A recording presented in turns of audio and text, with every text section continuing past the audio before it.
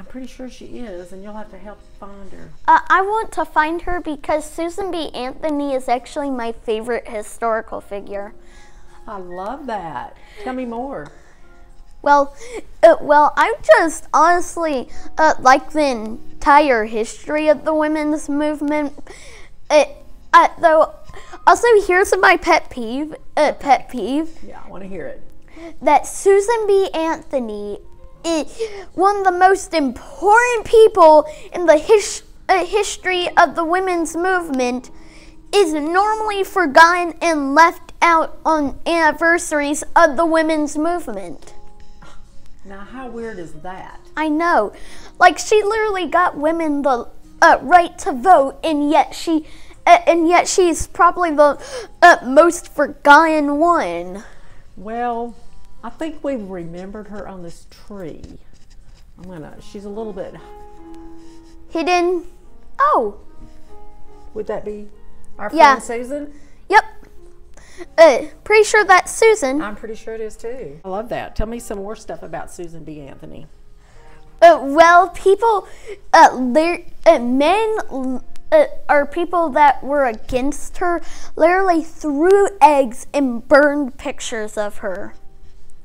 Also, uh, also, uh, also, she was. Uh, I can't remember the joke now. Uh, uh, I actually did like a whole speech uh, on her for a third grade project. I was homeschooled that year, so I could kind of go willy nilly and uh, willy nilly on my projects. And one of them was uh, do something on your favorite historical figure. and it was Susan B. Anthony. Yeah. Uh, Ocher, I think. What? But so, uh, what's the name of that uh, f- uh, famous oatmeal company? Um, Uh, with the man, the powdered wig. yes. Quaker. yeah, Quaker. Uh, she uh, she was a Quaker, not the oatmeal. Gotcha. Who's this? I I've seen pictures of her like for yeah. from uh, for like memes, but I actually don't know who she is. Well, her name is Rosie the Riveter, and during World War II, all the women who had been staying home, raising kids, keeping house, they had to go work in the factories. And being a riveter was something that had always been a man's job. And she had to go and work all those heavy machines and make um, weapons and tanks and stuff for Is she war. like is she like a made up person or an actual person? I think it's a mixture. I think they found. Oh, um, Amelia Earhart. Look at there, he found Amelia. Um, I think she's a mixture of a lot of different women, Oh. but they were all real. I- I think this one is. From the gonna a- looks of her dress and the fact that she's holding a lantern, uh, that an oil lantern, and there's something in her uh, pack. I I don't really.